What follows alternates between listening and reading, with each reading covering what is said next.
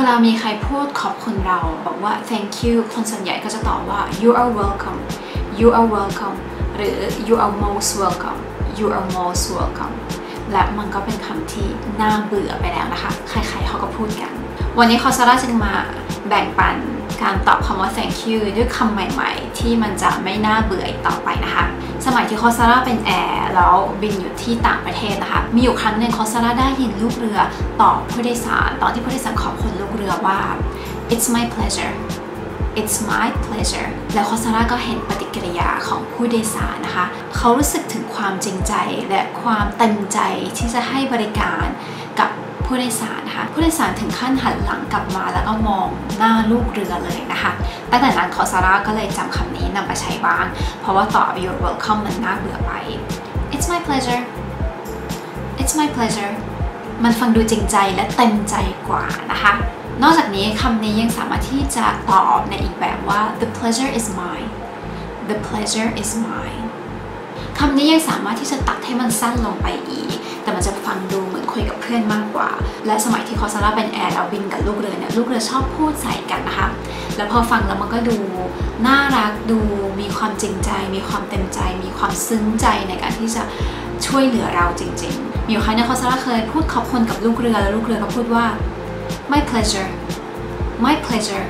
หรือเขาตอบแค่ว่า pleasure ตั้งแต่นั้นคอสลาก็นำไปใช้ในชีวิตประจำวัน ไม่ว่าจะตอบกับผู้โดยสาร ก็จะตอบว่า it's my pleasure ถ้าเป็นลูกเรือด้วยกัน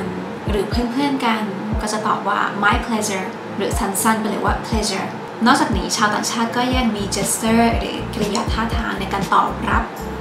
คำขอบคุณ เช่น เขาจะเอามือวางไว้ที่หน้าอก แล้วพูดว่า it's my pleasure my pleasure ซึ่งมันยิ่งเป็นการแสดงถึงความจริงใจ และความอ่อนน้อมถ่อมตนของคนคนนั้นนะคะ ลองเอาไปใช้กันดูนะคะ มาพูดถึงภาษาที่แอร์ส่วนใหญ่ชอบพูดกันแล้วเนี่ยยังมีคำตอบรับคำขอบคุณในแบบอื่นๆ ที่เพื่อนกับเพื่อนส่วนใหญ่จะพูดด้วยกัน หรือลูกเรือชอบเอาไปพูดตอบกันนะคะ แต่คำพวกนี้เนี่ยจะค่อนข้าง informal ก็คือจะไม่ค่อยเป็นทางการ เราจะไม่นำไปพูดกับผู้โดยสารนะคะ ส่วนใหญ่ก็จะพูดกับเพื่อนร่วมงาน หรือเพื่อนๆด้วยกันนะคะ no problem no problem แต่คำคำนี้เนี่ย คนอเมริกันโดยเฉพาะ generation เก่าๆเนี่ย เขาจะไม่ค่อยชอบคำนี้กันนะคะ เพราะฉะนั้นถ้าหากจะใช้ก็ใช้อย่างระมัดระวัง บางครั้งคุณอาจจะตอบ thank you ด้วยคำว่า thank you แต่เน้นเสียง you thank you thank you มันเหมือนกับว่าพอมีใครสักคนมาขอบคุณเราแต่จริง ๆ แล้ว เราต่างหากที่ต้องเป็นคนขอบคุณเขา เขาก็จะพูด thank you ตอบกลับำว่า you เน้นไปที่คนคนนั้นว่าจริงๆแล้วฉันต้องขอบคุณเธอต่างหาก thank you ก็คือเน้นว่าจริงๆแล้วฉันต้องขอบคุณเธอต่างหากเน้นตัว you คำหลังนะคะ that's alright that's alright คำนี้ได้ยินกันบ่อยนะคะ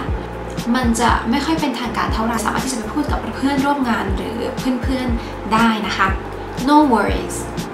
no worries อันนี้ลูกเรือชอบใช้กันมาก ชอบตอบรับคำขอบคุณจากลูกเรือด้วยกันว่า no worries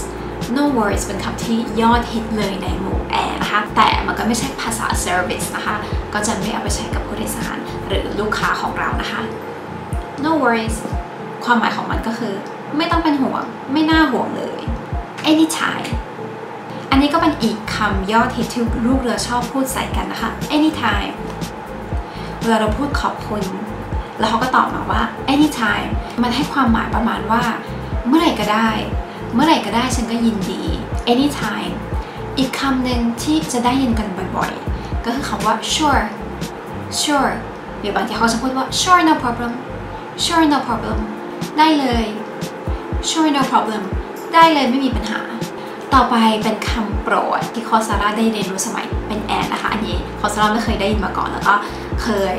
ขอบคุณเพื่อนร่วมงานที่เป็นลูกเรือด้วยกัน แล้วเขาก็ตอบอันนี้มาแล้วเรารู้สึกว่าเฮ้ยมันน่ารักดี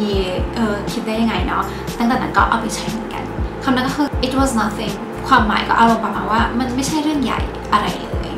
และที่คอสซาร่าชอบมากก็คือ มีครั้งหนึ่งที่เพื่อนร่วมงานที่เป็นลูกเรือด้วยกัน แล้วเขาก็ตอบขอบคุณเราว่า for nothing for nothing พอคอสซาร่าฟังแล้วก็โอ้โห มันฟังดูน่ารัก ฟังดูแปลก ฟังดูทะเลนดี มันฟังดูจริงใจ มันดูค่อนข้างสนิทใจกันดี ตั้งแต่นั้นคอซาร่าก็เลยนำไปใช้กับลูกเรือนะคะกลายเป็นภาษาลูกเรือเรียกว่า for nothing for nothing อีกคำตอบรับคำขอบคุณที่สามารถที่จะใช้กับลูกค้าได้ ก็คือคำว่า I'm happy to help I'm happy to help ฉันรู้สึกยินดี ฉันรู้สึกมีความสุขที่ได้ช่วยเหลือเธอ ทุกคนสามารถที่จะนำไปปรับใช้ในชีวิตประจำวัน ตอบรับคำขอบคุณของเพื่อนร่วมงานหรือเพื่อนๆ ในวิธีที่แตกต่างกันออกไป หรือไปตอบขอบคุณกับผู้โดยสาร หรือลูกค้าของคุณในคำใหม่ๆทำให้เขารู้สึก ได้เจอหรือได้ฟังคำใหม่ๆบ้างเป็นเรื่องที่ดีนะคะ You're welcome มันน่าเบื่อไปแล้วนะคะ มันไม่ทำให้รู้สึกอะไรอีกต่อไปแล้วนะคะ มาลองใช้คำใหม่ๆกันดูนะคะ โคซาร่าสั่งคุณเป็นนางฟ้าค่ะ